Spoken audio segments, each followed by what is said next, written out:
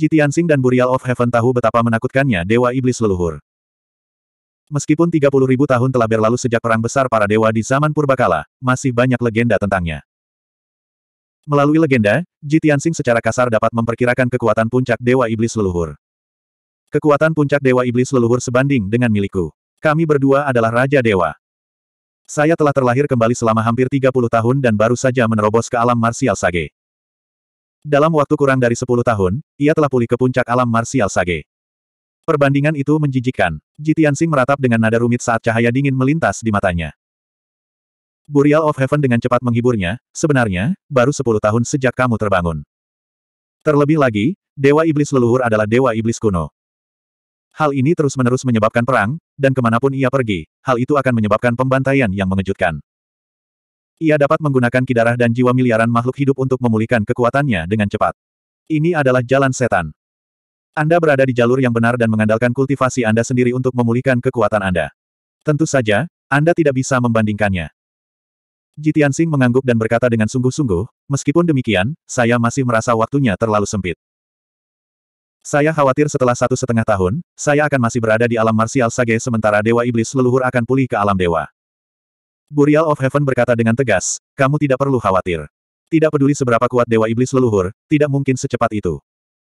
Hanya dengan melahap darah dan jiwa miliaran makhluk hidup, dia ingin pulih ke alam dewa. Apakah begitu mudah untuk mencapai alam dewa? Saya harap begitu. Jitiansing mengangguk dan tidak berkata apa-apa lagi. Pada saat itu, suara penjaga muda itu terdengar dari luar ruang rahasia. Melapor kepada Marsekal Ji, Marsekal Du telah mengirim seseorang untuk mengundang Anda ke aula konferensi untuk membahas hal-hal penting. Mendengar suara penjaga muda itu, Jitiansing mengangkat alisnya dan bergumam pada dirinya sendiri, sepertinya Du Chengchang harus tahu tentang mundurnya ras iblis. Itu bagus. Saya akan pergi menemuinya sekarang dan mengucapkan selamat tinggal kepada semua orang. Dengan itu, dia bangkit dan keluar dari ruang rahasia. Melihat dia keluar, penjaga muda itu buru-buru membungkuk hormat dan mengikutinya ke ruang konferensi. Pada saat Jitiansing tiba di aula pertemuan, Du Chengchang dan lebih dari 20 jenderal sudah menunggunya di aula. Wajah semua orang dipenuhi kegembiraan dan kegembiraan saat mereka berdiskusi dengan ribut. Jelas sekali, semua orang telah mendengar berita mundurnya ras iblis. Melihat kedatangan Jitian Sing, Du Chengchang buru-buru mengangkat tangannya untuk memberi isyarat agar semua orang diam. Dia berkata dengan nada bermartabat, Jenderal Ji ada di sini. Semuanya, diam. Para jenderal segera menghentikan diskusi mereka dan terdiam. Mata semua orang tertuju pada Jitian Sing saat mereka membungkus serempak. Salam, Marsekal Ji. Jitiansing mengangguk sedikit, memberi isyarat agar semua orang izin. Dia memandang Du Chengchang dan bertanya, Marsekal Du, apakah Anda mengundang saya ke sini untuk menyampaikan kabar baik? Du Chengchang mengangguk cepat dan berkata sambil tersenyum, tentu saja. Ini adalah berita bagus. Ramalan Marsekal Ji memang seperti dewa. Pasukan ras iblis benar-benar mundur. Tidak hanya Raja Iblis di luar lembah bintang jatuh yang mundur, bahkan beberapa juta pasukan ras iblis di luar jalur serigala surgawi juga menghilang tanpa jejak. Perang yang berlangsung selama tiga tahun ini, akhirnya kita menangkan. Ras iblis yang penuh kebencian itu tidak punya pilihan selain mengakui kekalahan dan mundur. Mengikuti kata-katanya, para jenderal lainnya juga menggemakan kata-katanya. Marsal Ji benar-benar dewa dalam memimpin pasukan. Dia bisa meramalkan masa depan. Sebelumnya, Marsekal Ji mengatakan bahwa ras iblis akan mundur. Para jenderal iblis tidak mempercayainya. Tidak menyangka hal itu benar-benar menjadi kenyataan. Hehe, sisa-sisa ras iblis pasti sangat ketakutan karena reputasi Marsekal Ji yang menakjubkan. Mereka tahu bahwa tetap tinggal di belakang adalah jalan buntu, jadi mereka melarikan diri dengan ekor di antara kaki mereka. Kemenangan yang diperoleh dengan susah payah ini tidak hanya ditukar dengan nyawa puluhan juta tentara kita, tetapi juga diciptakan sendirian oleh Marsekal Ji. Jenderal ini menyarankan agar kita harus mengadakan pesta perayaan di Valen Star Valley untuk merayakan kemenangan perang ini. Kita semua harus bersulang untuk Marsekal Ji tiga kali. Bagus. Saran ini bagus. Kita semua setuju. Marsekal Ji, tolong jangan menolak. Semua jenderal sedang dalam suasana hati yang sangat baik. Mereka semua bersemangat dan segera mulai berbicara tentang persiapan pesta perayaan. Jitiansing menekan dengan kedua tangannya, memberi isyarat agar semua orang diam. Dia menangkupkan tangannya ke arah Du Chengchang dan para jenderal dan berkata dengan nada tenang, Marsekal Du, para jenderal, kursi ini berterima kasih kepada semua orang atas bantuan dan bantuan mereka selama periode waktu di lembah bintang jatuh ini. Sekarang pasukan ras iblis telah mundur, perang telah berakhir. Setiap orang dapat menikmati kedamaian dan ketenangan. Sayangnya kursi ini masih memiliki urusan penting yang harus diselesaikan. Saya harus segera kembali ke Gunung Luoshen secepat mungkin dan tidak dapat berpartisipasi dalam pesta perayaan semua orang. Mendengar perkataannya, seluruh jenderal mengungkapkan ekspresi penyesalan dan rasa kasihan. Mereka semua membuka mulut untuk mendesaknya agar tetap tinggal. Marsekal Ji, Anda telah menyelamatkan kekaisaran matahari merah kami. Anda adalah kontributor terhebat. Apa pun yang terjadi, silakan tinggal selama dua hari lagi dan berpartisipasi dalam pesta perayaan kami. Izinkan semua prajurit mengungkapkan rasa terima kasih mereka kepada Anda. Benar, Marsekal Ji. Semua prajurit di Lembah Bintang jatuh memujamu. Mereka semua ingin melihat penampilanmu yang sebenarnya. Setelah para jenderal selesai berbicara, Du Chengchang juga berjalan ke sisi Ji Tianxing. Dia merendahkan suaranya dan menasihati, Marsekal Ji, Anda akan berangkat hari ini. Bukankah ini terlalu mendadak? Bahkan jika Anda tidak ingin berpartisipasi dalam pesta perayaan, silakan tinggal selama dua hari lagi. Baru saja, Lord Saint Emperor mengirim pesan untuk mengundang Anda ke kota kekaisaran. Dia ingin mengadakan pesta secara pribadi untuk Anda. Bahkan jika Anda ingin pergi, Anda harus memberi waktu kepada Lord Saint Emperor untuk mengirim Anda secara pribadi. Jitiansing tidak memiliki kesan yang baik terhadap Kaisar Suci Matahari Merah dan tidak ingin memberinya wajah apa pun.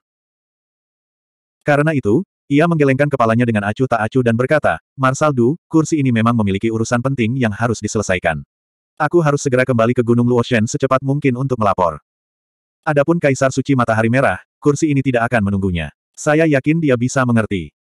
Perang baru saja berakhir dan masih banyak hal yang harus diselesaikan. Kerajaan Matahari Merah juga perlu istirahat dan memulihkan diri. Dia pasti akan sibuk dengan pekerjaan. Jitiansing menolak niat baik Kaisar Suci Matahari Merah. Sikapnya sangat tegas saat dia bersikeras untuk pergi. Du Chengchang dan para jenderal lainnya tidak dapat membujuknya. Mereka hanya bisa membawa hati yang penuh penyesalan saat mereka dengan hormat mengirimnya pergi dari ruang diskusi. Ketika dia sampai di alun-alun di luar aula, Jitiansing berhenti dan menangkupkan tinjunya ke semua orang. Semuanya, kursi ini akan berangkat sekarang. Jaga dirimu baik-baik. Setelah berbicara, dia berbalik dan terbang ke langit, menghilang ke cakrawala secepat kilat. Du Chengchang dan para jenderal lainnya menatap sosoknya yang akan berangkat. Mereka menggelengkan kepala dan saling berbisik. Huh, kita akhirnya memenangkan perang dan mengalahkan ras iblis, tapi kita tidak punya kesempatan untuk minum bersama Marsekal Ji. Menurutmu orang seperti apa Marsekal Ji itu? Dia kuat, identitasnya misterius, metodenya tidak terduga, keterampilan militernya luar biasa, dan dia dapat memprediksi masa depan. Ini hanyalah dewa yang sempurna. Hal yang paling sulit dipercaya adalah Marsekal Ji begitu luar biasa, tapi dia tidak peduli dengan harta duniawi, apalagi ketenaran. Tidak peduli seberapa besar orang-orang di dunia menghormati dan memujanya, dia tetap acuh tak acuh dan tidak memiliki sedikit pun kesombongan atau kesombongan.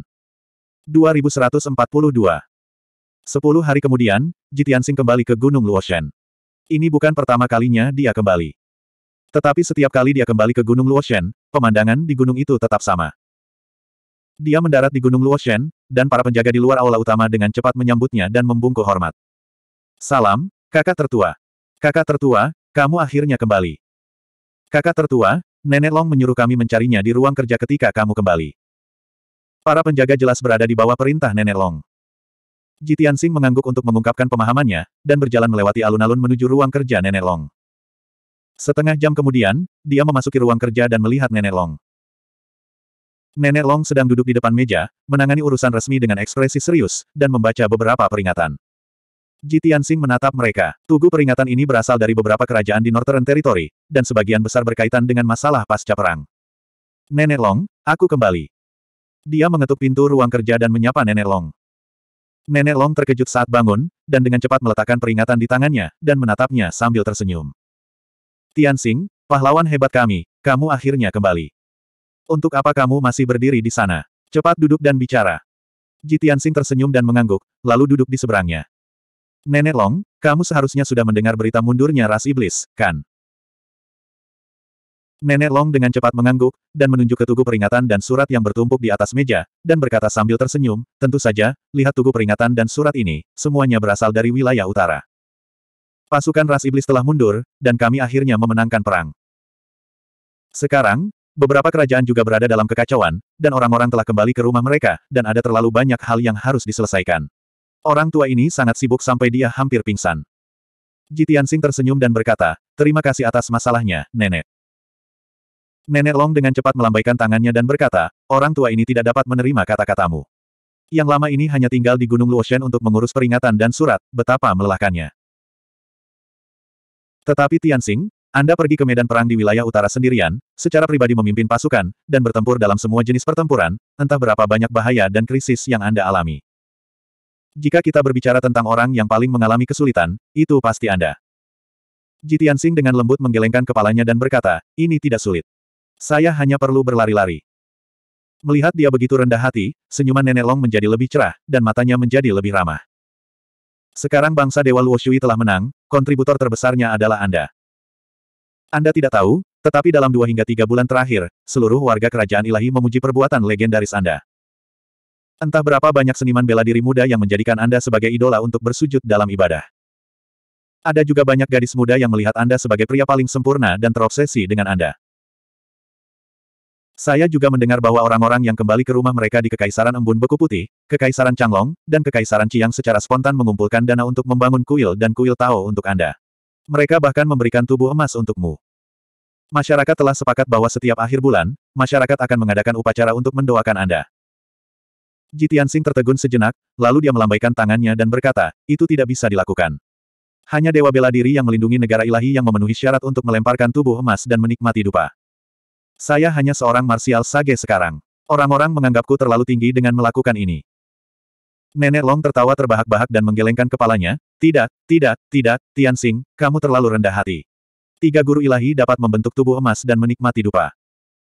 Meskipun Anda bukan seorang guru ilahi, Anda adalah dewa bela diri yang tak terkalahkan, pahlawan hebat yang menyelamatkan jutaan orang. Dengan kontribusi dan kebaikan yang begitu besar, Anda memang layak menikmati persembahan dupa rakyat. Pada titik ini, dia tiba-tiba memikirkan sesuatu dan tersenyum. Itu benar, ada rumor di kerajaan ilahi bahwa beberapa waktu lalu, kamu menerobos ke alam marsial sage di medan perang. Saat itu, cahaya kemasan memenuhi langit dan sembilan naga yang membubung di langit berlangsung selama tiga hari tiga malam sebelum menghilang. Belum lagi beberapa kerajaan di wilayah utara, bahkan Gunung Luoshen pun bisa melihatnya. Saya tidak pernah berpikir bahwa Anda akan menjadi begitu mengerikan sehingga Anda bisa menerobos ke alam marsial sage hanya dalam beberapa tahun. Terlebih lagi, ketika Anda menerobos ke alam marsial sage, penglihatan surgawi belum pernah terjadi sebelumnya. Jitiansing mengerutkan alisnya dan bertanya dengan suara rendah, Nenek, maksudmu berita tentang aku menerobos ke alam marsial sage sudah diketahui semua orang. Iya. Nenek Long menganggukkan kepalanya dengan sungguh-sungguh dan berkata, masalah ini tidak hanya diketahui oleh semua orang di kerajaan ilahi Luoshui, tetapi juga telah menyebar ke kerajaan ilahi kepunahan surga dan kerajaan ilahi yang luas. Bagaimanapun juga, Anda memimpin pasukan ke wilayah utara dan tidak terkalahkan, menciptakan keajaiban dan mengejutkan dunia. Sekarang, Anda adalah pahlawan terkenal dan jenius nomor satu di ras manusia. Seolah-olah berita tentangmu telah berkembang pesat dan menyebar dengan cepat. Mendengar kata-katanya, Ji Tianxing menjadi semakin khawatir dan bertanya, Nenek, selain ini, pernahkah kamu mendengar rumor lain? Rumor apa lagi? Nenek Long bertanya dengan rasa ingin tahu. Jitian Sing ragu-ragu sejenak sebelum menjelaskan, itu adalah rumor tentang latar belakang saya. Oh, kamu sedang membicarakan hal itu. Nenek Long tiba-tiba mengerti dan menganggukkan kepalanya, ada beberapa rumor yang mengatakan bahwa kamu adalah reinkarnasi dari Kenshin. Terlebih lagi, mereka mengatakan bahwa kamu memiliki mata dan alis. Namun rumor tersebut tidak tersebar luas dan banyak orang hanya menganggapnya sebagai gosip yang tidak berdasar. Lagi pula, bagaimana Kenshin yang telah mati ribuan tahun bisa hidup kembali?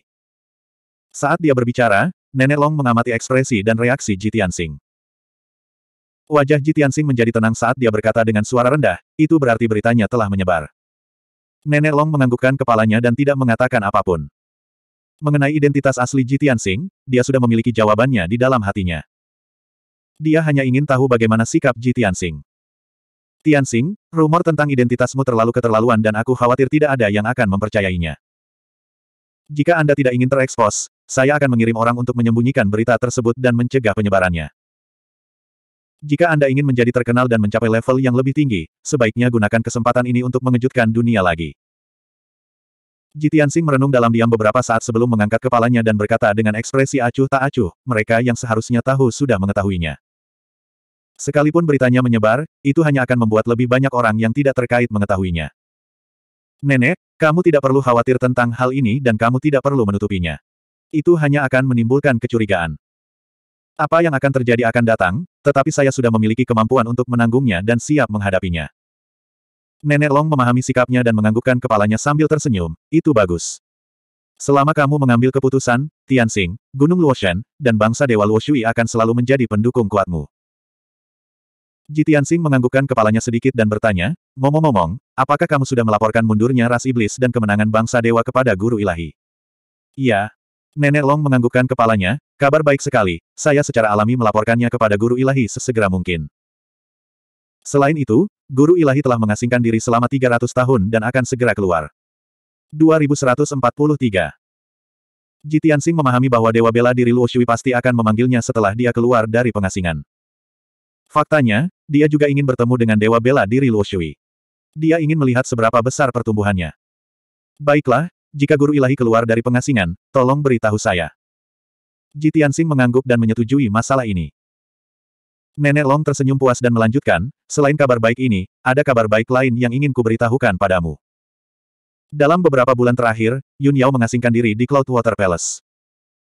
Setelah dia menyempurnakan mutiara ilahi itu, budidayanya melonjak dan wilayah kekuasaannya meningkat pesat. Bahkan aku terkejut. Saat menyebut Yun Yao, ketertarikan Jitiansing langsung terguncang dan dia bertanya dengan mata cerah, Oh, apa yang terjadi dengan Yao Yao? Nenek Long berkata sambil tersenyum, kamu baru saja kembali dan belum melihat Yun Yao, kan? Dalam tiga bulan terakhir, dia telah melewati tiga kesengsaraan surgawi berturut-turut. Dapat dikatakan bahwa kekuatannya telah melonjak. Saya memperkirakan dalam waktu setengah bulan, dia akan melewati kesengsaraan surgawi lainnya. Saat itu, Anda melewati tiga kesengsaraan surgawi dalam waktu setengah tahun, dan itu sudah mengejutkan. Sekarang, Yun Yao melewati kesengsaraan surgawi setiap bulan, yang merupakan keajaiban yang belum pernah terjadi sebelumnya. Para murid dan penjaga gunung Luoshen semuanya ketakutan. Berbicara tentang ini, wajah Nenek Long penuh dengan kepuasan dan kebanggaan. Dia sedang dalam suasana hati yang baik. Jitiansing juga menganggapnya luar biasa dan terkejut. Apakah begitu? Sungguh luar biasa. Kalau terus begini, tidak akan lama lagi dia bisa menerobos alam marsial sage dan menyusulku. Nenek Long sedikit mengernyit dan ragu sejenak sebelum menggelengkan kepalanya, belum tentu begitu. Perkiraanmu terlalu optimis. Sebelumnya, saya mengunjungi Yun Yao beberapa kali dan menanyakan situasi spesifiknya. Menurut perkiraannya, mutiara ilahi dapat membantunya meningkatkan wilayahnya sebanyak lima atau enam tingkat. Paling-paling, dia bisa mencapai alam crossing kesengsaraan tingkat 9. Jika dia ingin menerobos alam martial sage, kekuatan satu mutiara ilahi tidaklah cukup, kecuali dia mendapatkan yang lain. Jitiansing tiba-tiba mengerti dan mengangguk, begitu, tidak heran Anda mengirimi saya pesan penting dan meminta saya untuk kembali secepat mungkin. Iya, Nenek Long mengangguk dan berkata, mutiara ilahi terlalu penting bagi Yun Yao. Tidak hanya dapat membantunya meningkatkan kultivasinya, tetapi juga dapat memperpanjang umurnya. Oleh karena itu, ketika saya mengetahui bahwa orb ilahi telah muncul di majelis suci bela diri ilahi, saya segera memberi tahu Anda. Anda telah mencapai alam marsial sage dan Anda bahkan belum berusia seribu tahun. Anda memenuhi persyaratan untuk berpartisipasi dalam majelis suci bela diri suci. Terlebih lagi, kecakapan bertarungmu luar biasa, dan tidak ada seorang pun di dunia yang sama yang bisa mengalahkanmu. Jika kamu berpartisipasi dalam majelis suci Senwu, tidak ada satupun martial saint muda yang akan menandingimu. Mutiara yang mengandung angin dan api itu pasti akan menjadi milikmu. Jitiansing berpikir sejenak, lalu mengangguk dengan serius dan berkata, Nenek, jangan khawatir, saya pasti akan pergi ke majelis suci bela diri ilahi. Selama itu terkait dengan God Orb, meski hanya sedikit mirip, saya tidak akan melewatkannya. Hanya saja, di mana majelis suci bela diri suci akan diadakan. Kapan itu akan diadakan? Nenek Long mengeluarkan secarik giok dari lengan bajunya dan menyerahkannya kepada Jitiansing. Dia memperingatkan, Menurut praktik yang biasa, pertemuan suci bela diri ilahi akan diadakan di negeri ilahi ujung surga pada tahap ruang hampa. Akan diadakan tanggal 10 bulan depan, jadi masih ada waktu setengah bulan lagi. Rincian majelis suci bela diri ilahi, serta proses dan hasil dari majelis suci sebelumnya, semuanya dicatat dalam slip giok ini.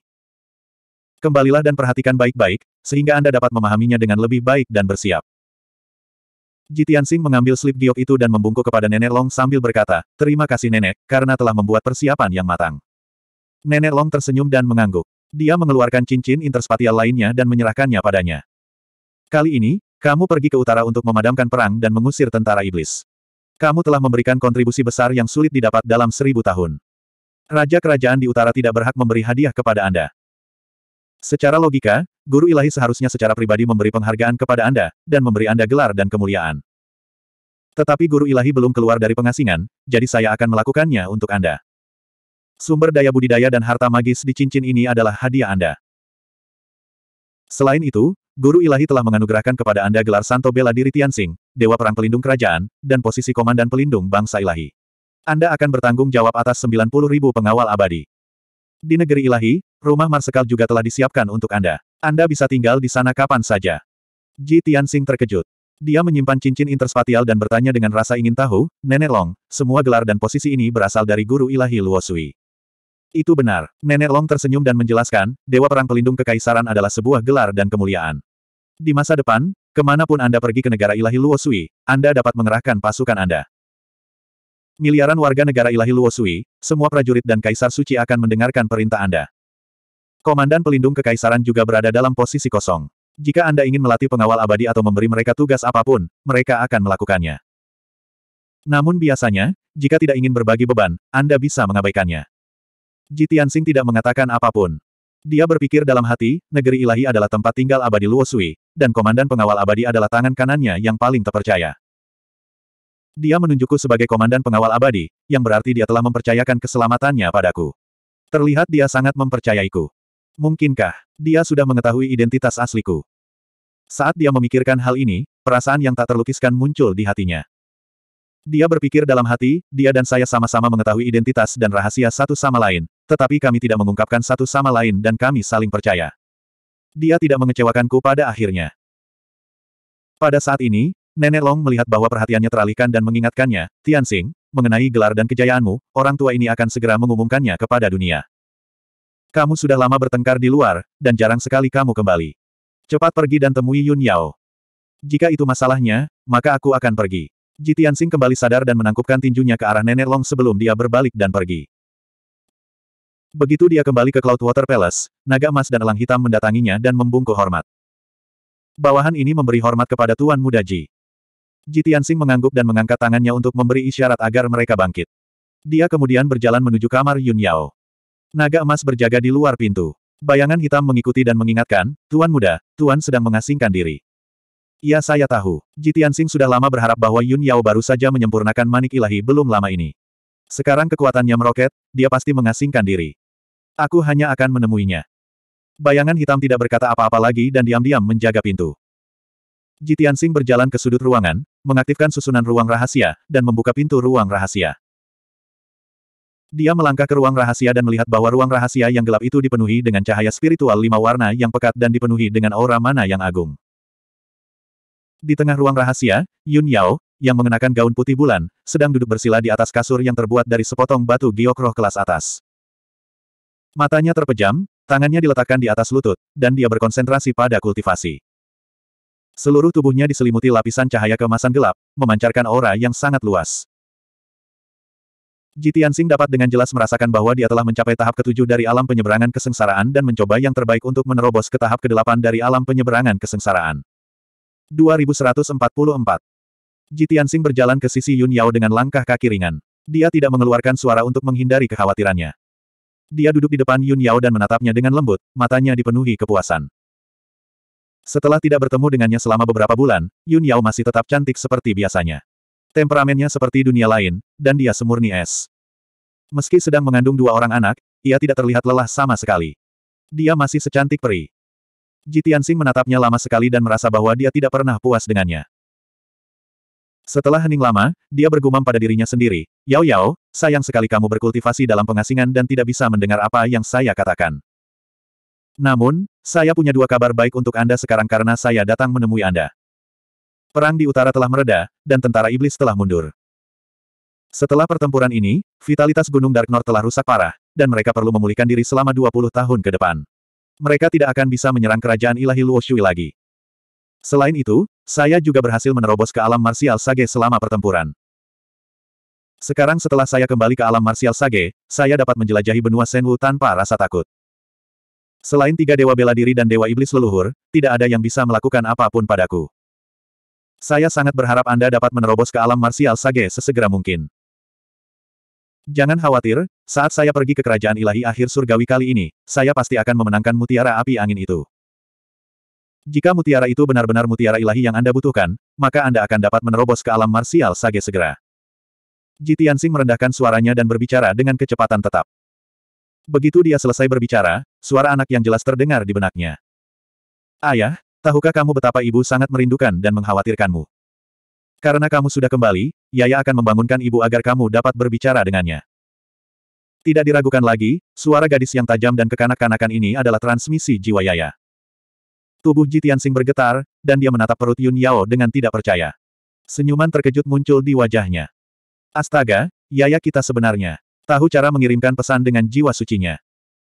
Saat dia berbicara, dia tidak bisa menahan diri untuk tidak mengulurkan tangan dan menyentuh perut Yun Yao. Namun, kebangkitannya yang tiba-tiba pasti akan mengganggu budidaya Yun Yao. Akibatnya, dia buru-buru menarik tangannya dan berkata dengan suara rendah, Yaya, ibu sedang berada pada titik kritis dalam kultivasinya yang tertutup. Kamu tidak boleh mengganggunya, apalagi membangunkannya. Suara Yaya terdengar lagi di benaknya. Mem, karena ayah sudah bilang begitu, maka Yaya tidak akan membangunkan ibu. Ayah, Yaya, dan kakak sudah berada di alam pemurnian jiwa.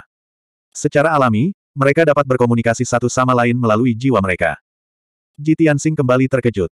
Ia tersenyum dan berkata, aku tidak menyangka bahwa kau akan mencapai tahap pemurnian jiwa dari tahap Sky Yuan hanya dalam waktu satu tahun. Sepertinya Anda berdua telah mengembangkan teknik naga awan sembilan surga dan teknik bintang tanpa batas hingga tingkat yang kecil. Aku ingin tahu kapan kalian semua akan lahir.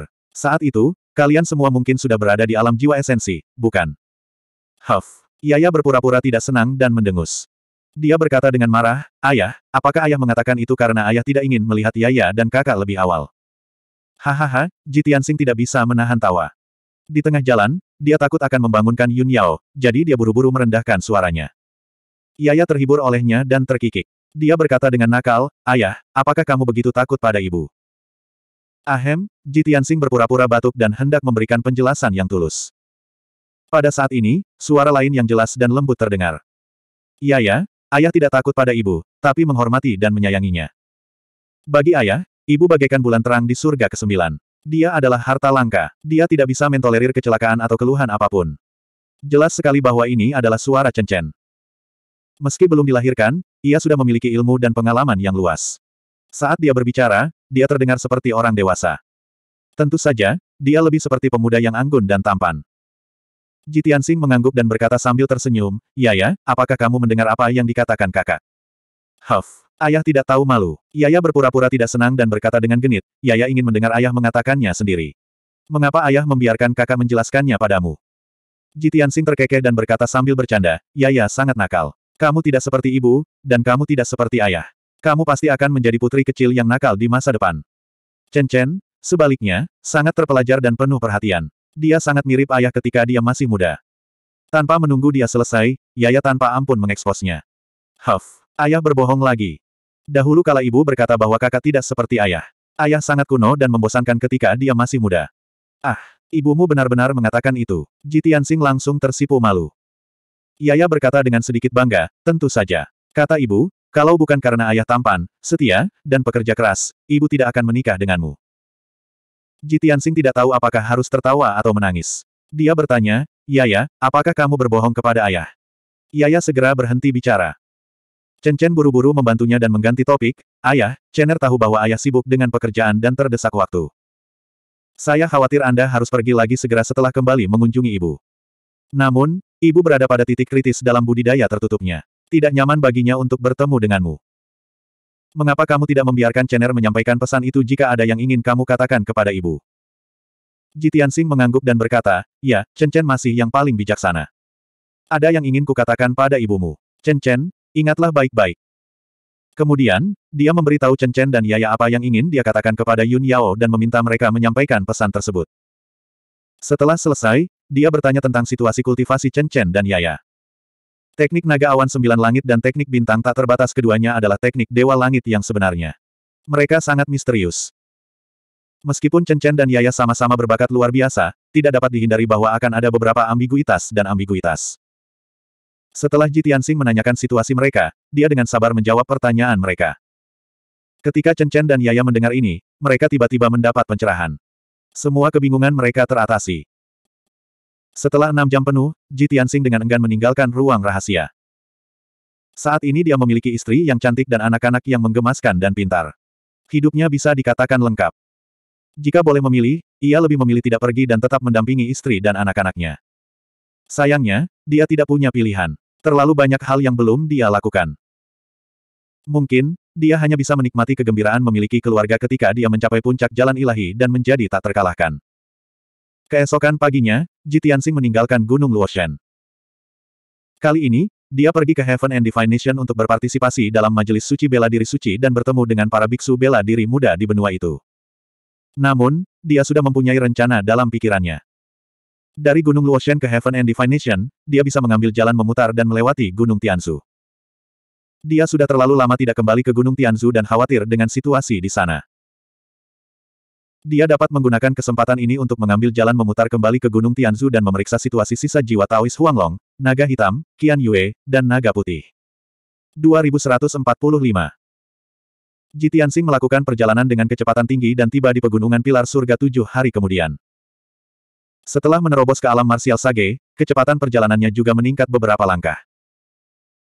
Dia seperti sedang berjalan-jalan di langit, namun kenyataannya, setiap langkah yang diambil menempuh jarak 50 hingga 60 mil.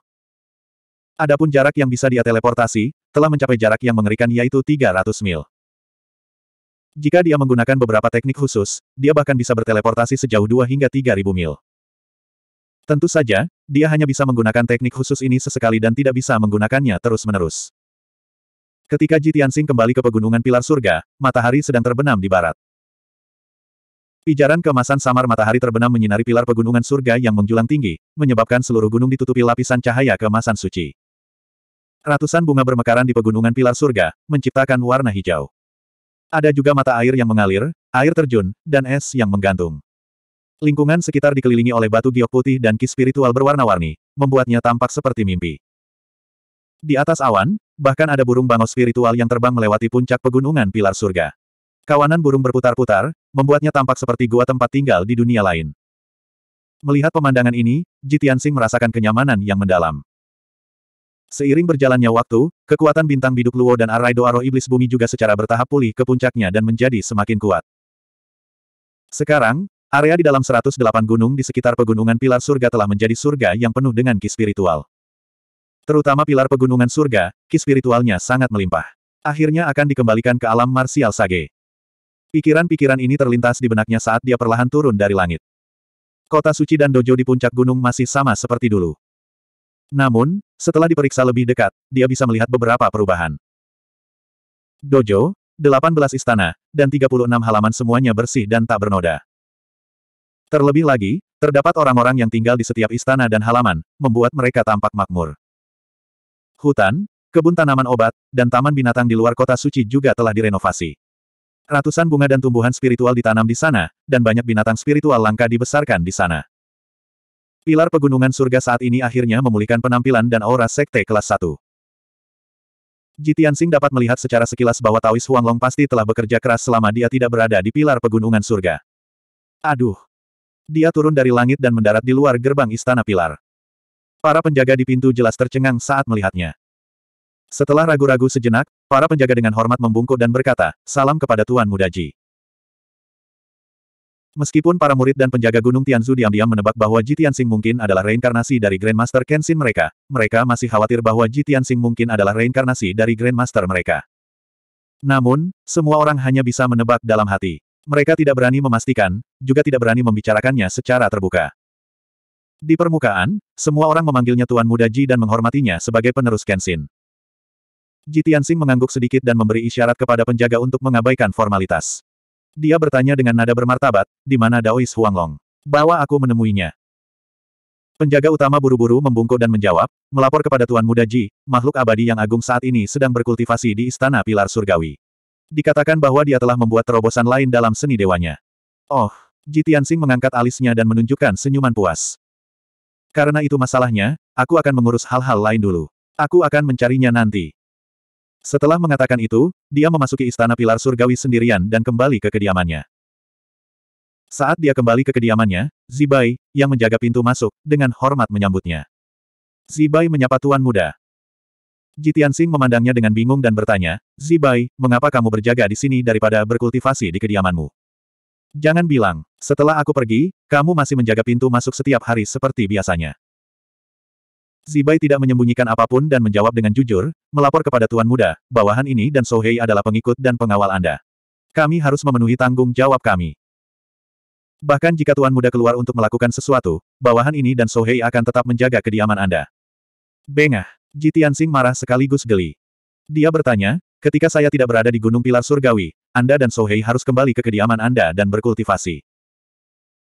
Sedangkan untuk tempat tinggal saya, ada pembantu yang bertugas membersihkannya dan penjaga yang bergiliran menjaganya. Bagaimana Anda bisa menjadi seniman bela diri yang kuat jika Anda membuang-buang waktu seperti ini? Katakan padaku, apakah Huang Long memintamu melakukan ini? Atau apakah itu ide orang yang lebih tua? Zibai menangkupkan tangannya dan menjelaskan, Tuan Muda, ini bukan perintah dari Dewa Agung atau tetua mana pun. Bawahan ini dan Sohei bersedia melakukannya. Karena Tuan Muda telah memerintahkan, bawahan ini dan Sohei akan patuh dan tidak akan sebodoh itu di masa depan. Jitiansing jelas tahu bahwa ini adalah kesetiaan Zibai dan Sohei. Tentu saja, dia tidak menyalahkan Zibai. Setelah menatap Zibai beberapa saat, dia bertanya, Zibai, teknik yang kamu kembangkan adalah cabang ketiga dari teknik pedang stelar, teknik angin dan guntur tanpa batas. Dalam beberapa tahun terakhir ini, Anda terjebak di puncak level ke-6 dan belum mampu menembus ke level ke-7, bukan? Zibai tertegun sejenak dan dengan cepat mengangguk, mata tuan muda setajam obor. Benar. Jitiansing mengangguk dan mengarahkan bola cahaya kemasan gelap ke dahi Zibai. Bola cahaya seukuran biji kurma segera memasuki lautan kesadaran Zibai dan menyatu dengan ingatannya. Ini adalah sebagian dari pengalamanku. Seharusnya bisa membantumu menerobos. Kembalilah dan pelajari dengan baik. Zibai hanya merasakan jiwanya pusing sesaat, lalu lautan luas kenangan dan informasi mengalir ke dalam jiwanya. Ketika mendengar kata-kata Jitian Sing, dia langsung berlutut dan bersujud karena terkejut. Terima kasih atas bimbingan dan kebaikanmu, Tuan Muda. Bawahan ini akan mengingatnya seumur hidupku. Jitian Sing tersenyum dan melambaikan tangannya, lalu berbalik dan melangkah ke kamar tidur. Saat dia memasuki ruangan, Souhei sedang memegang kemoceng dan kain lap, dengan hati-hati menyeka meja, kursi, dan tirai. Melihat adegan ini, Jitiansing tidak tahu apakah harus tertawa atau menangis, dan juga, menegur, Souhei. Selain itu, dia juga memberi Souhei bimbingan dan penghargaan yang sesuai untuk budidayanya. Setelah Souhei dengan hormat membungkuk dan mengucapkan terima kasih, dia tidak berani mengganggunya dan segera pergi. Dalam sekejap mata, hanya Jitiansing yang tersisa di kamar tidur. Baru setelah itu dia memasuki ruang rahasia dan melewati jalan rahasia menuju Star Divine Furnace jauh di bawah tanah. Desir. Dia mengikuti jalan yang dikelilingi oleh api bintang dan terbang ke bawah. Segera, dia tiba di tungku ilahi. Dia melihat bahwa Star Divine Furnace dalam radius 100 mil telah lama diisi dengan Star Divine Fire. Ada lautan api perak di segala arah, terus-menerus melonjak dengan gelombang api. Jitiansing mengitari lautan api dan dengan cepat menemukan naga hitam. Naga hitam masih berkultivasi dalam pengasingan. Ukuran tubuhnya menjadi dua kali lipat, mencapai ketinggian 3000 kaki, membuatnya tampak seperti gunung hitam kecil. Sekarang, ia mengembangkan seni transformasi bintang dan terus-menerus menyerap kekuatan bintang dari Star Divine Furnace. Itu telah mencapai tingkat kelima dari alam transendensi kesengsaraan. Itu berada pada saat kritis dalam budidayanya dan tampaknya bekerja keras untuk menerobos ke alam transendensi kesengsaraan tingkat keenam. Jitiansing melihat tubuhnya penuh dengan bekas luka, baik yang lama maupun yang baru, dan tahu betapa sulitnya mengolahnya. Meski begitu, ia tidak pernah mengendur dalam dua tahun terakhir dan selalu mengasingkan diri di Star Divine Furnace. Jitiansing tidak mengganggu naga hitam dan pergi menemui Qian Yue. Keadaan Qian Yue jelas jauh lebih santai. Dengan perlindungan kalung artefak dewa, dia benar-benar tertidur. 2146. Naga hitam itu membosankan, tapi pekerja keras. Qian Yue licik dan nakal, tapi dia punya peluangnya sendiri. Keduanya tumbuh dengan cepat, jadi Jitiansing tidak lagi mengkhawatirkan mereka. Dia terbang ke sudut Star Divine Cauldron untuk memeriksa Dewa Naga Putih. Array yang dia siapkan masih utuh. Di dalam susunannya, vas mengkilap telah mengembang beberapa kali. Benda itu sebesar ember dan mengambang dengan tenang di lautan api. Jitiansing terbang mendekat dan melihat lebih dekat. Dia sangat gembira. Cahaya putih berbentuk naga sepanjang satu meter melingkar di dalam botol tembus pandang, dan berkedip-kedip dengan cahaya berkilau. Tanaman anggur panjang umur telah hilang sepenuhnya. Rupanya, naga putih telah menyempurnakannya. Bahkan jiwa petapa bela diri yang diberikan Jitiansing kepada naga putih telah menghilang tanpa jejak. Naga putih sepanjang tiga kaki adalah sisa jiwa Dewa Naga Putih. Jitiansing tersenyum saat melihat Dewa Naga Putih telah pulih. Sisa jiwa Dewa Naga Putih merasakan auranya dan bergerak. Ia memutar tubuhnya perlahan dan mengangkat kepala naganya yang seperti aslinya. Ia memandang Jitiansing melalui vas mengkilap. Ketika melihat wajah Jitiansing, ia tertegun dan tubuhnya bergetar hebat. Setelah hening lama, ia membuka matanya lebar-lebar dan mengirimkan pesan jiwa. Itu menyedihkan dan bahagia pada saat bersamaan. Menguasai. Apakah itu benar-benar kamu? Menguasai. Aku tidak sedang bermimpi, kan? Itu adalah suara seorang pemuda. Itu terdengar di benak Ji Tianxing. Dia menangis dan gemetar karena kegembiraan. Perasaan Ji Tianxing campur aduk saat mendengarnya. Banyak kenangan terlintas di benaknya. Dia mengangguk dengan sungguh-sungguh dan berkata dengan emosional, Naga Putih, kamu akhirnya sadar kembali. Usahaku selama beberapa tahun terakhir tidak sia-sia. Naga Putih masih tenggelam dalam kegembiraan dan tidak percaya bahwa itu benar. Ia memandang Jitiansing dengan mata cerah dan bertanya dengan tidak percaya, Guru, apa yang terjadi? Bukankah kita mati di langit berbintang? Bagaimana? Bagaimana kita bisa hidup kembali? Apakah aku sedang bermimpi, atau apakah kita tidak pernah mati sama sekali? Apakah kita masih berada di istana Raja para Dewa? Jitiansing tidak bisa menahan tawa. Dia membuka botol harta karun mengkilap dan melepaskan jiwa sisa naga putih. Ribuan tahun telah berlalu dalam sekejap mata, seperti mimpi atau ilusi. Tapi apa pun yang terjadi, kami akhirnya kembali. Naga putih dengan cepat terbang keluar dari vas mengkilap dan mengelilingi Jitiansing beberapa kali, dengan hati-hati mengukurnya. Hanya setelah memastikan bahwa Jitian Sing adalah tubuh hidup dari daging dan darah barulah ia percaya bahwa semuanya nyata. Tuan, kami benar-benar hidup kembali. Sungguh sulit dipercaya. Guru, kemampuan ilahi macam apa yang Anda gunakan? Dia benar-benar menghidupkan kita kembali dari kematian. Jitian Sing tersenyum dan menggelengkan kepalanya. Ceritanya panjang. Akan kujelaskan nanti. Singkatnya, saya telah lama membuat persiapan dan rencana untuk bermain-main dengan Dao Surgawi. Naga Putih mengangguk seolah mengerti. Ia berkata dengan gembira, saya mengetahuinya. Dengan perlindungan guru, tidak peduli bagaimana saya mencari masalah, pada akhirnya saya tidak akan mati.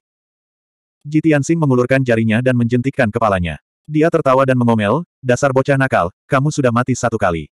Kenapa kamu masih begitu main-main? Hehe, naga putih memperlihatkan senyuman licik dan berkata dengan bangga, kekuatan suci guru tidak ada bandingannya. Selama kamu tinggal di istana raja para dewa, kamu dapat mengendalikan banyak sekali dunia.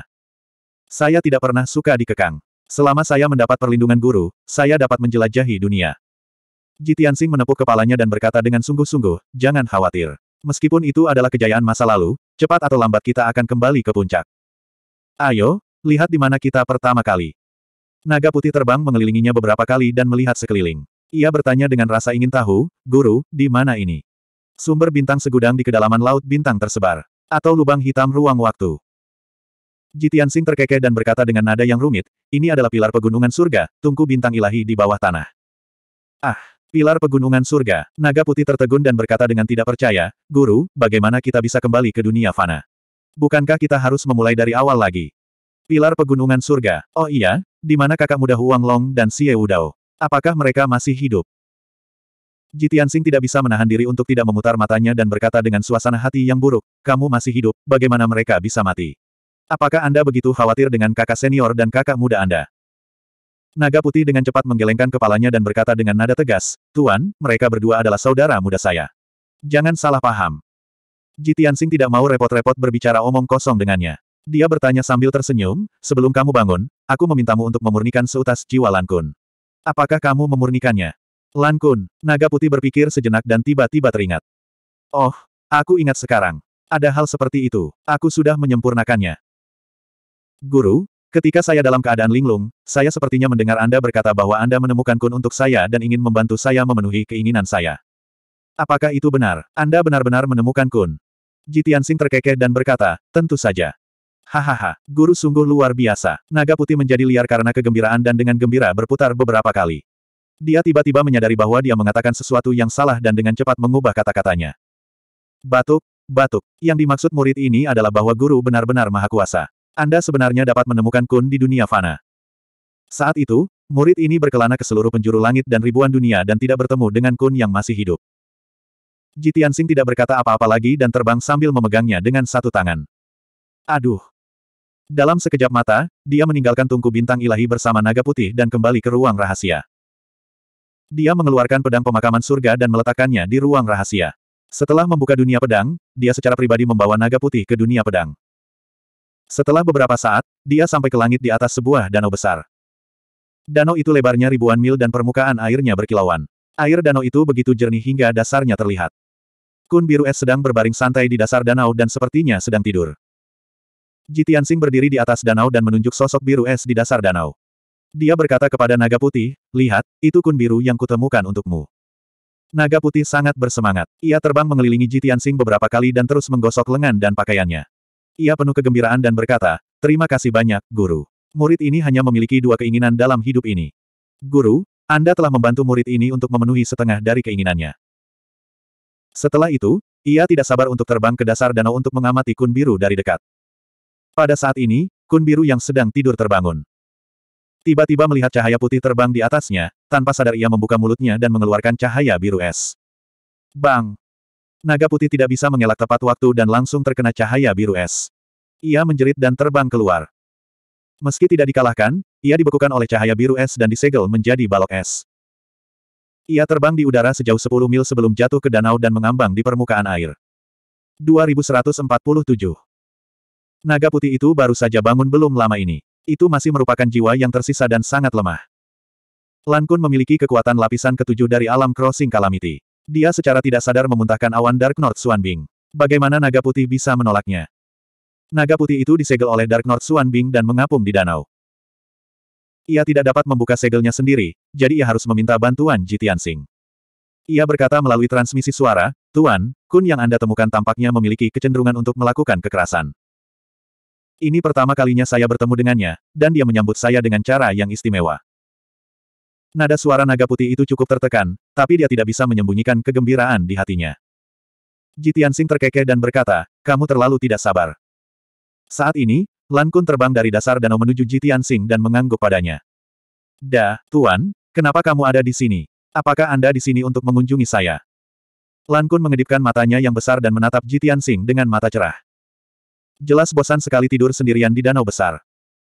Saya akan sangat senang dan bersyukur jika Jitiansing dapat datang melihatnya dan berbicara dengannya. N, aku datang untuk melihat kabarmu. Jitiansing mengangguk dan melihatnya dengan serius. Dia mengkritik, Lan Kun, aku mengajarimu teknik menelan langit, yang merupakan teknik tingkat raja paling berharga di dunia. Anda tidak tahu bagaimana menghargainya dan tidak bermeditasi dan berkultivasi. Anda sebenarnya tidur di dasar danau. Saya sangat kecewa. Melihat dia marah, Lan Kun menundukkan kepalanya dengan frustrasi dan berkata dengan suara rendah, Tuan, saya pernah bertarung dengan pasukan iblis di medan perang sebelumnya dan menghabiskan banyak energi. Saat ini, balok es seukuran rumah melayang. Suara naga putih keluar dari sana, dan dengan cepat memohon pada Lan Kun. Tuan, jangan terlalu keras pada Lan Kun. Ia masih muda, dan telah menderita banyak luka di pertempuran sebelumnya. Lihatlah bekas luka di tubuhnya. Eh, kenapa agak jelek?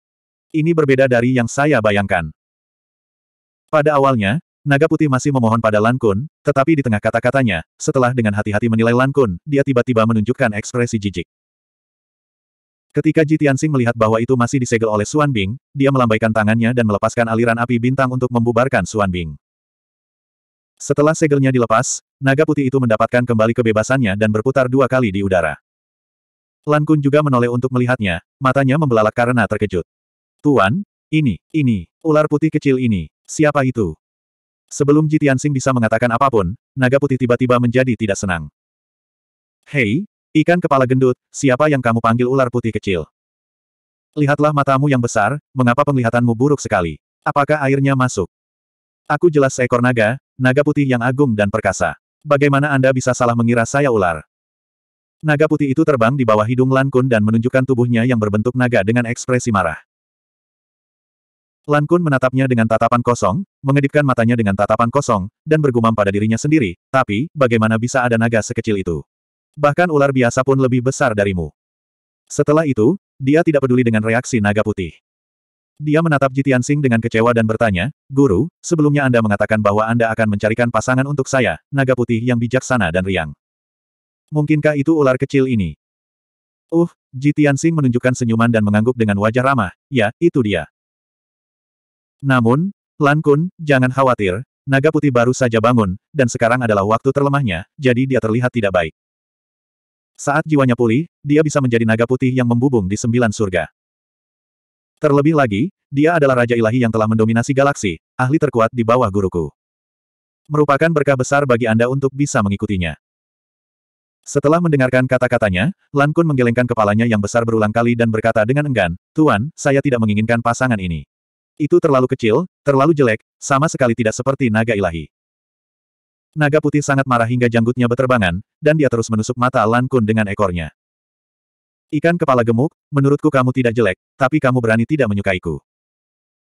Sejujurnya, jika saya berada di puncak, ikan lemah seperti Anda hanya bisa saya panggang. Lan Kun menatap naga putih dan berseru tak percaya, kamu tidak hanya meremehkanku, tapi juga ingin membunuhku. Naga putih menggelengkan kepalanya dan berkata sambil tersenyum, bukan untuk membunuhmu, untuk memakanmu. Begitu dia selesai berbicara, Lan Kun membuka mulutnya dan mengeluarkan cahaya dingin yang menyilaukan. Bang! Dengan suara teredam lainnya, naga putih diledakkan lagi dan berubah menjadi bongkahan es yang jatuh ke dalam danau. Jitian Sing menghela nafas tanpa daya, melambaikan tangannya untuk menembakkan cahaya bintang, mengambil es, dan melepaskan segel Suan Bing. Melihat naga putih dan Lan Kun hendak berdebat lagi, dia berteriak dengan wajah bermartabat, diam. Naga putih dan Lan Kun segera menutup mulut dan tidak berani bertindak gegabah. Jitian Sing berkata dengan sungguh-sungguh, saat ini, kalian semua berada dalam kondisi terlemah, dan juga dalam kondisi paling menyedihkan. Tapi di masa depan, Anda pasti akan menjadi pembangkit tenaga listrik Maha Dao dan menjelajahi dunia. Saya harap kalian berdua dapat rukun, saling membantu, dan tumbuh dewasa secepatnya. Waktu guru sangat sempit, dan saya tidak berminat membiarkan kalian berdua bermain. Kalian berdua bisa berduaan sebentar, guru akan meninggalkan Gunung Tianzu besok dan pergi ke negara Dewa Tianjue. Setelah mengatakan itu, Ji Tianxing berbalik dan hendak pergi. Lan Kun terdiam, tapi dia tidak punya niat untuk menolak. Naga Putih berpikir sejenak, dan segera mengikuti Ji Tianxing, dan bertanya, Guru, mengapa Anda pergi ke negara Dewa Tianjue? Apakah Tianjue yang lama itu masih hidup? Ji Tianxing berkata dengan tenang, baru seribu tahun berlalu, Tian Jue masih hidup dan ambisius.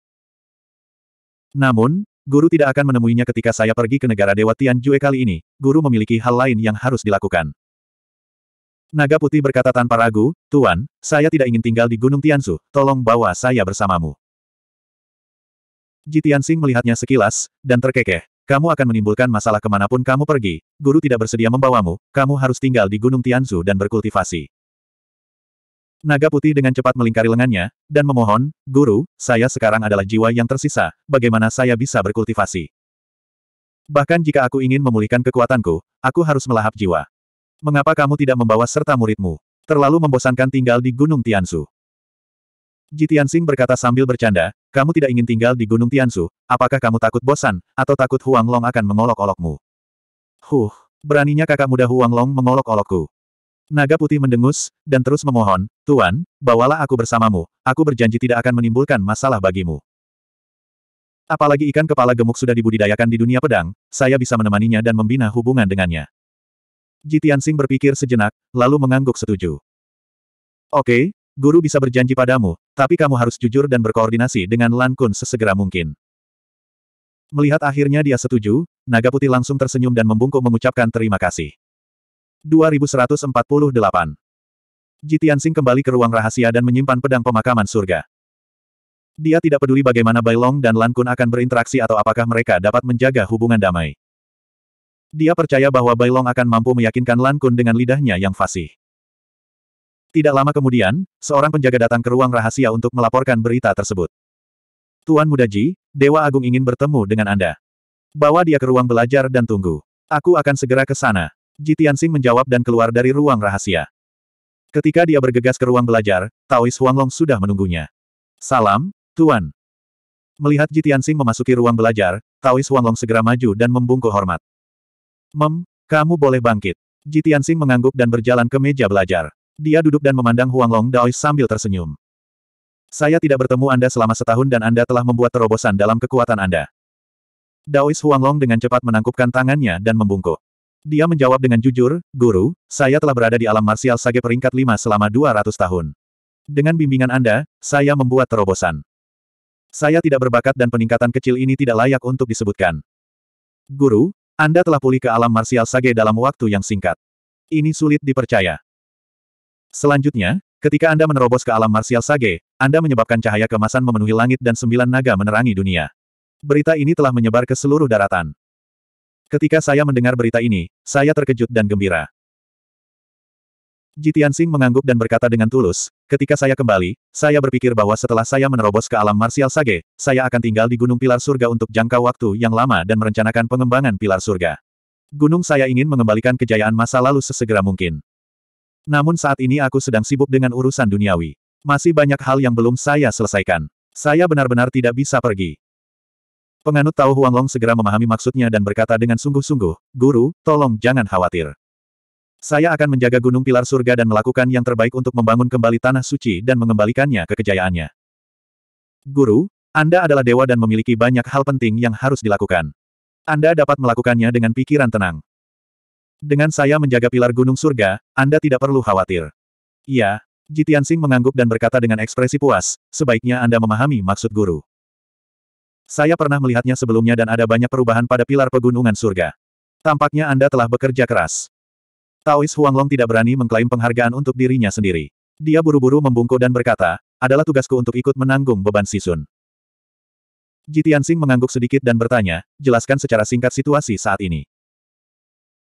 Pendeta Tao Huanglong mengatur pikirannya dan melaporkan dengan serius, melapor kepada guru, sekte kami telah memulihkan sebagian vitalitasnya dan memiliki fondasi serta kekuatan sekte kelas 1. Saat ini, ia memiliki 8.000 murid, 2.000 di antaranya adalah murid dan 6.000 pelayan. Di dalam pilar pegunungan surga, terdapat sembilan sekte, delapan belas faksi, lebih dari empat ratus kota dan desa, dan hampir lima ratus juta prajurit dan warga sipil. Di dalam kota suci, delapan belas istana dan tiga puluh enam aula semuanya memiliki murid-murid yang tinggal di dalamnya. Taman binatang roh, taman ramuan roh, dan lokakarya penempaan artefak semuanya terbuka untuk umum. Guru, Anda telah berulang kali menciptakan keajaiban dan menciptakan legenda tak terkalahkan yang mengejutkan. Hal ini juga membuat pilar pegunungan surga semakin terkenal. Tidak hanya orang-orang di bawah pegunungan pilar surga yang telah menyerah, tetapi banyak pejuang dan warga sipil dari tiga kerajaan ilahi juga telah pindah ke pegunungan pilar surga. Secara keseluruhan, sekte kami saat ini berkembang dan situasinya bagus. Kami tidak jauh dari pemulihan ke puncak kami. Jitiansing mengangguk dan menginstruksikan, Anda harus mengirim orang untuk menyelidiki warga sipil dan prajurit dari tiga kerajaan ilahi. Terutama orang-orang dari kerajaan surga ujung surga. Jangan biarkan ada mata-mata masuk. Murid memahami dan selalu melakukannya. Jawab Taois Huanglong. Jitiansing mengerutkan kening dan berpikir sejenak. Dia bertanya lagi, oh benar, sumber daya budidaya para murid selalu berlipat ganda.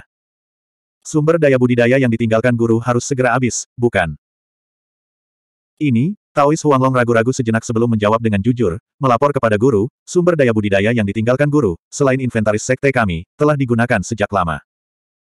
Meskipun murid telah memikirkan cara untuk membuka tambang baru dan menanam herbal roh, hasilnya terlalu lambat.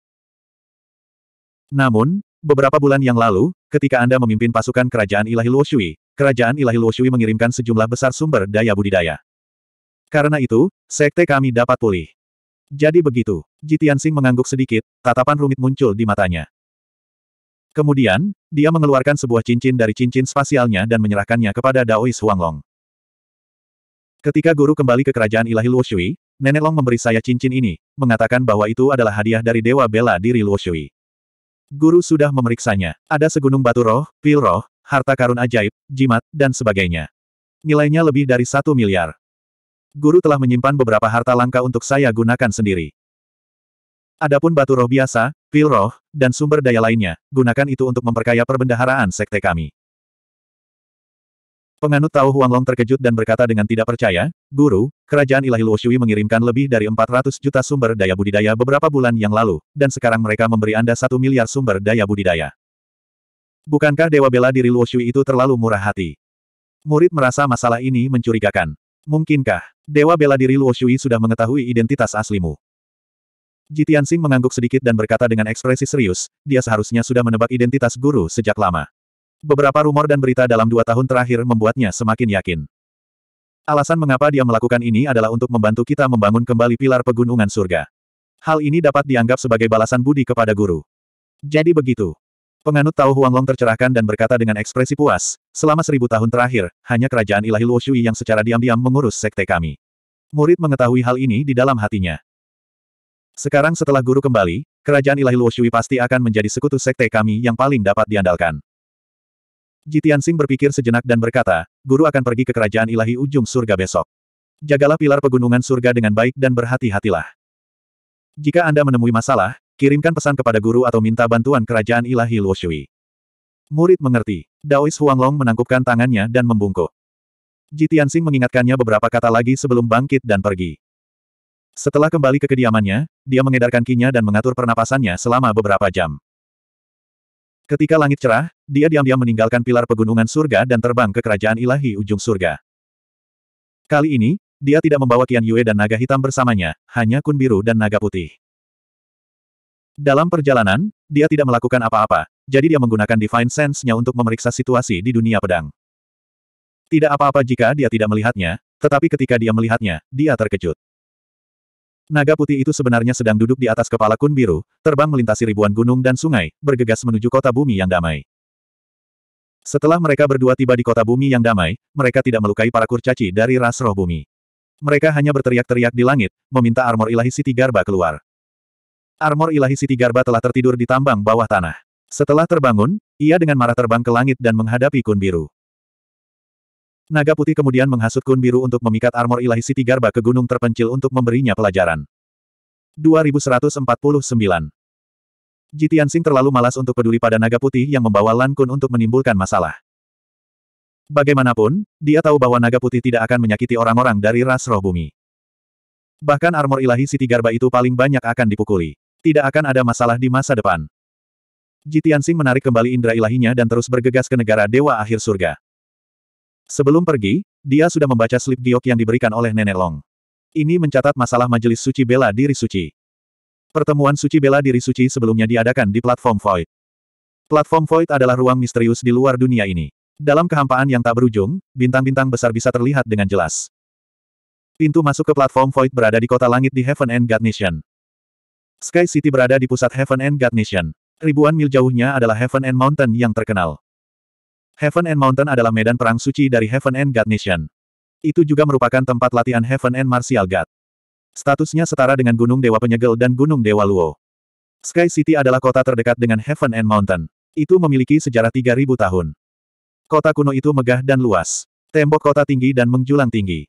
Itu mencakup area seluas 300 mil dan dapat menampung jutaan seniman bela diri dan warga sipil. Sejak zaman kuno, kota langit selalu makmur. Ini mengumpulkan seniman bela diri dari seluruh dunia. Beberapa kerajaan bangsa Dewa Ujung Surga harus melewati kota langit. Sejak seribu tahun yang lalu, Kenshin pernah ke Heaven and God Nation dan melewati Sky City. Tapi dia tidak tinggal di kota saat itu, jadi dia tidak memiliki kesan apa pun tentang Sky City. Enam hari kemudian, Jitiansing tiba di Sky City sesuai jadwal. Saat itu tengah hari dan langit agak gelap. Awan kelabu berserakan melayang di langit. Sinar matahari yang redup tidak mampu menembus awan. Kadang-kadang, sedikit cahaya akan bersinar melalui celah tersebut. Beberapa ratus mil jauhnya, Jitiansing melihat kota megah berwarna coklat tua di tanah di depannya. Kota ini dikelilingi oleh dataran hijau tua. Itu ditutupi dengan rumput dan hutan. Seribu mil jauhnya ada pegunungan. Sesampainya di dekat kota menatap langit, Jitiansing mengamati kota kuno itu dari jarak dekat. Dia bisa merasakan aura kuno dan kuat. Tembok kota yang menjulang tinggi setinggi ratusan meter dan membentang ratusan mil, mengelilingi dan melindungi seluruh kota Wangtian. Kota itu dipenuhi deretan istana dan paviliun. Segala jenis rumah dan bangunan dengan gaya berbeda tersebar ke segala arah. Jalanan lebar dan gang ramai dengan aktivitas. Kebanyakan dari mereka dipersenjatai dengan pedang dan pedang. Mata mereka cerah, dan tubuh mereka memancarkan aura yang ganas dan kuat.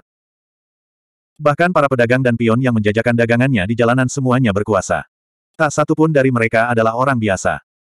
Meski jaraknya masih jauh, mereka sudah bisa mendengar keributan dan keributan. Jitiansing datang ke gerbang timur dan mengikuti kerumunan yang ramai menuju kota Sky Gasing. Ada hampir seratus penjaga di kedua sisi gerbang kota. Mereka semua mengenakan baju besi hitam dingin dan memegang tombak panjang yang berkedip-kedip dengan cahaya dingin. Aura mereka dingin dan keras. Namun, penjaga tidak memeriksa orang-orang yang masuk dan keluar kota. Mungkin karena majelis suci bela diri suci, jumlah seniman bela diri yang masuk dan keluar kota langit meningkat beberapa kali lipat dalam beberapa hari terakhir. Meskipun hanya sedikit orang yang memenuhi syarat untuk berpartisipasi dalam majelis suci bela diri suci. Orang-orang itu akan membawa sekelompok besar murid, pengikut, dan penjaga. Sangat sedikit orang yang datang sendirian seperti Jitiansing. Selain itu, ada banyak sekali seniman bela diri yang datang ke Sky City hanya untuk menonton pertunjukan. Senang juga bisa mengapresiasi keanggunan para martial Saint muda. Setelah memasuki Sky City, Jitiansing berjalan dengan tenang ke pusat kota dan melihat sekeliling dengan tenang. Saat ini, serangkaian teriakan datang dari belakangnya. Lihat, itu adalah penjaga kehormatan Martial Saint Kingshan. Semuanya, minggir. Martial Saint Kingshan telah tiba. Jangan menghalangi jalan. Semuanya, pergilah ke pinggir jalan. Jika kalian menyinggung Martial Saint Kingshan, berhati-hatilah dengan kepala kalian. Saat teriakan berisik terdengar, para seniman bela diri dan orang-orang di samping Jitiansing semuanya mundur ke pinggir jalan.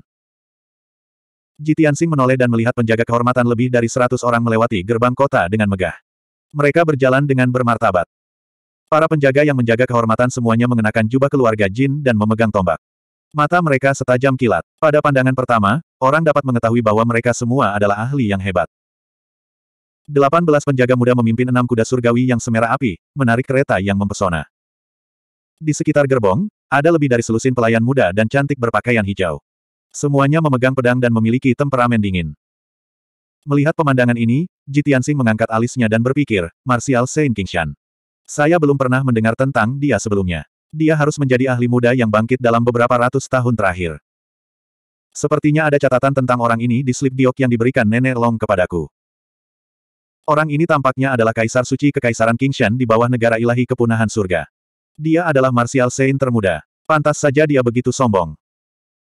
Pada saat ini, seorang lelaki tua berambut putih keluar dari kerumunan dan berkata kepada Ji Tianxing dengan cemas, anak muda, jangan hanya berdiri di sana. Apakah kamu tidak melihat penjaga kehormatan Martial Saint Kingshan? Anda berada di tengah jalan. Jika kamu membuat marah Martial Saint Kingshan, kamu harus menanggung konsekuensinya.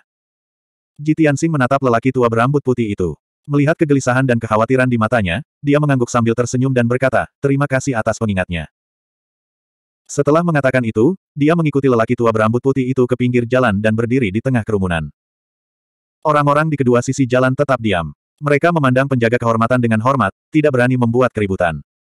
Setelah penjaga kehormatan Martial Saint Kingshan lewat, kerumunan menunjukkan ekspresi lega. Segera setelah itu, kerumunan mulai berdiskusi. Mengapa Martial Saint Kingshan datang lebih awal? Secara logika, dia seharusnya sangat dekat dengan kota Wangtian. Mungkin ada alasannya. Bagaimana kita tahu? Dalam 200 tahun terakhir, Martial Saint Kingshan telah berada di sepuluh besar selama empat majelis suci Senwu berturut-turut. Di majelis suci terakhir, dia bahkan menduduki peringkat keempat. Dia sangat terkenal. Saya berharap di majelis suci Senwu ini, Martial Saint Kingshan bisa masuk tiga besar. Putra ilahi keempat yang terhormat telah menduduki peringkat pertama selama sepuluh majelis suci berturut-turut.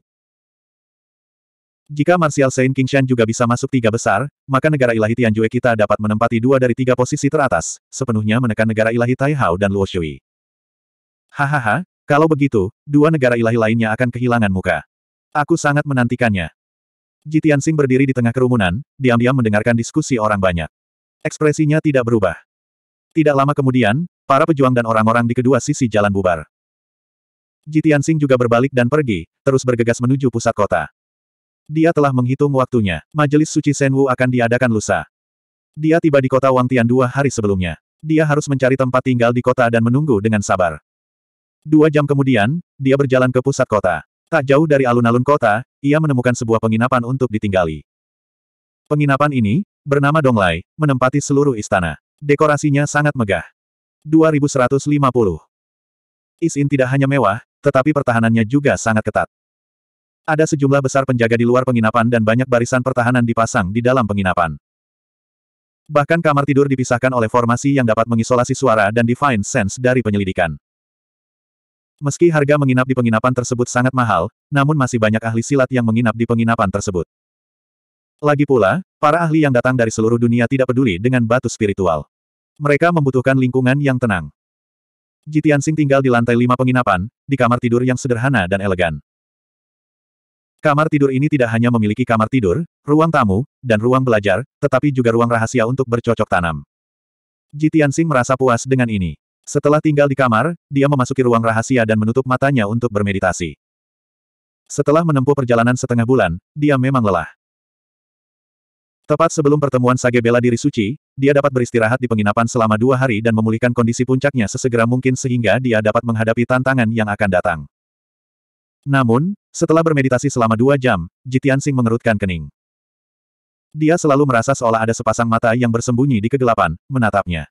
Kapan pun dia samar-samar merasakan kewaspadaan. Setelah mencapai alam marsial sage, persepsinya menjadi lebih kuat dan tajam. Bahkan jika seseorang mengutuknya dari jarak 100 mil, dia masih bisa merasakannya. Aneh, ini pertama kalinya saya datang ke kota Wangtian. Tidak ada musuh di sini dan saya tidak suka pamer. Siapa yang akan memata-matai saya? Pikiran ini terlintas di benak Ji Tianxing. Bingung, dia diam-diam melepaskan indera surgawinya dan memperluasnya ke segala arah. Meskipun ada banyak susunan di dalam penginapan, mereka tidak dapat menghalangi indera ilahinya. Segera, indera surgawinya menutupi seluruh istana dan dia mendeteksi ratusan aura berbeda. Berbagai pemandangan di penginapan tampak jelas di benaknya. Di aula lantai pertama, penjaga toko berdiri di belakang konter tinggi, mengutak-atik sempoa dan melihat buku rekening. Lebih dari sepuluh penjaga menjaga pintu. Ada juga dua kelompok seniman bela diri yang sering bepergian bertanya kepada pelayan apakah ada kamar. Di ratusan ruangan di lantai 2 hingga 5, terdapat seniman bela diri dari seluruh dunia. Kebanyakan dari mereka berasal dari suku manusia, namun ada beberapa dari suku asing. Sebagian besar orang berada dalam kelompok yang terdiri dari tiga atau lima orang, tetapi ada juga beberapa yang sendirian seperti dia. Namun, dua kelompok orang menarik perhatian Jitian Sing. Sekelompok orang tinggal di ruang VIP peringkat A di lantai tiga. Itu adalah seorang pria muda dengan sikap anggun. Dia berpakaian mewah dan memiliki penampilan yang bermartabat. Di dalam dan di luar ruangan, ada delapan pelayan dan lebih dari tiga puluh penjaga dan pelayan. Semuanya sangat hormat. Yang paling penting, aura pemuda itu telah mencapai alam marsial sage. Kelompok orang lainnya tinggal di lantai empat. Mereka tinggal di kamar biasa dengan hanya enam orang. Pemimpinnya adalah pria yang tinggi dan kokoh. Dia mengenakan jubah ungu dan jubah emas gelap. Seluruh tubuhnya memancarkan aura bermartabat dan mendominasi. Orang ini juga seorang marsial sage dan tubuhnya mengandung aura angin dan guntur. Lima orang yang bepergian bersamanya semuanya memiliki kekuatan alam kesengsaraan, dan mereka semua mengenakan jubah putih yang sama. Mereka tampak seperti sesama murid. Sebuah Is Rifle In yang kecil sebenarnya memiliki dua martial Saint. Tampaknya pengaruh majelis sage bela diri suci tidak boleh diremehkan. Itu benar-benar menarik semua ahli martial sage dari benua ini ke sini. Jitiansing mengangkat alisnya dan bergumam pada dirinya sendiri. Kemudian, dia diam-diam memindahkan kesadaran spiritualnya dan terus menjelajahi penginapan. Setelah beberapa saat, dia menemukan petunjuk dan menemukan sasarannya. Di pintu masuk penginapan, ada 12 penjaga berbaju besi dan memegang pedang. Mereka berdiri tegak dan menjaga pintu. Sebelas penjaga memandang lurus ke depan dan memiliki postur dingin dan bermartabat. Hanya seorang penjaga kurus yang menatap pintu masuk dari waktu ke waktu, dan kemudian melihat ke tangga di aula. Meskipun dia berusaha menyembunyikannya, dia bertindak wajar ketika dia melihat sekeliling dan tidak menarik perhatian. Namun, gerakan dan ekspresinya yang halus tidak bisa lepas dari pandangan Jitian Sing. Selain penjaga di pintu masuk, ada juga dua pemuda berpakaian katun di pintu belakang. Mereka menggunakan gerobak kayu untuk menarik beberapa ember dan diam di pintu belakang. Di permukaan, mereka tampak seperti para pekerja penginapan yang sedang bekerja. Namun kenyataannya, mereka terus menatap ke pintu belakang, mengamati dengan cermat setiap orang yang keluar dan masuk. Ketiga orang ini semuanya licik dan tampak sangat mencurigakan.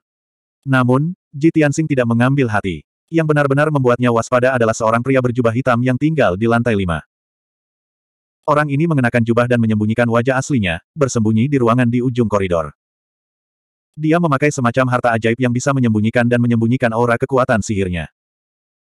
Namun, dia diam-diam menggunakan kristal berbentuk berlian untuk memantau pergerakan seluruh lantai.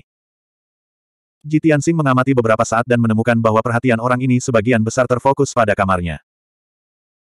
Terlebih lagi, orang ini diam-diam melepaskan kesadaran spiritualnya untuk memeriksa situasi di kamarnya. Huff, dia benar-benar datang untukku. Meskipun orang ini menggunakan teknik rahasia untuk menyembunyikan kesadaran spiritualnya, dia terlalu naif. Apa dia pikir dia bisa menyembunyikannya dariku? Jitiansing sedikit mengernyit, cahaya dingin muncul di matanya. Di negeri ilahi Tianjue, selain dewa bela diri Tianjue, hanya ada orang-orang dari aliansi langit patah yang menaruh dendam padaku. Saya ingin tahu dari faksi mana orang-orang ini berasal. Sebenarnya, samar-samar dia punya jawaban di dalam hatinya. Dewa bela diri Tianjue menginginkan misteri kenaikan pilar pegunungan surga, jadi dia secara alami akan menanganinya secara diam-diam. Namun, jika Dewa bela diri Tianjue ingin bergerak, mengapa dia mengirim prajurit udang dan jenderal kepiting ini? Penglihatannya terlalu rendah. Oleh karena itu, jawabannya sudah jelas. Jitiansing mengabaikan orang-orang yang diam-diam mengawasinya dan terus bermeditasi di ruang rahasia. Namun, kesadaran spiritualnya tampak samar-samar meluas, mengawasi pergerakan orang-orang itu. Empat jam kemudian, hari sudah larut malam. Kota langit yang ramai perlahan-lahan menjadi tenang. Is Rifle In pun ikut hening, hanya lampu di tiap kamar saja yang menyala. Pada saat ini, pria berjubah hitam yang tinggal di ujung koridor lantai lima diam-diam meninggalkan kamarnya. Begitu dia meninggalkan penginapan, penjaga di pintu masuk aula dan dua pria berpakaian linen di pintu belakang juga berpencar dan pergi. Jitiansing juga mengakhiri meditasinya, menggunakan teknik gaib, dan diam-diam terbang keluar dari penginapan. Dia mengikuti pria berjubah hitam itu, melewati langit malam yang gelap, dan terbang keluar dari Sky City. Pria berjubah hitam itu sangat berhati-hati. Dia mengitari kota dua kali sebelum berangkat dari sudut tembok kota. Setelah meninggalkan kota Wang Tian, dia mempercepat dan terbang ke arah barat. Setelah 15 menit singkat, dia terbang sejauh 800 mil dan tiba di puncak gunung yang tingginya ribuan kaki. Puncak gunung ini sangat biasa di antara pegunungan dan tidak mencolok mata. Namun, di puncak gunung, di bawah naungan banyak pepohonan yang menjulang tinggi, terdapat sebuah rumah bangsawan kuno dan tenang. Pria berjubah hitam itu turun dari langit dan mendarat di luar istana. Dia dengan hati-hati memeriksa sekeliling, dan melihat tidak ada yang mengikutinya, dia diam-diam memasuki istana. Istana itu gelap gulita dan sunyi senyap. Sepertinya tidak ada orang yang tinggal di sini dan sudah lama ditinggalkan.